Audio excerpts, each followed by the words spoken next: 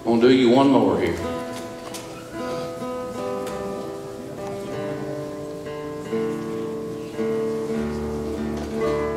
This is one I wrote for Jerry Reed and Buster B. Jones. Well, me and my brother wrote it. Had a lot of requests to do this and again today. It's called the Jerry Buster.